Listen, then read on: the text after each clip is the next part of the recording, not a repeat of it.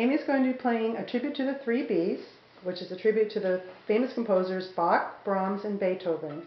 This is one of the orchestra songs she'll be playing in January. And when played with the orchestra, there will be a violin two section as well as a viola section. And today she will be playing violin one.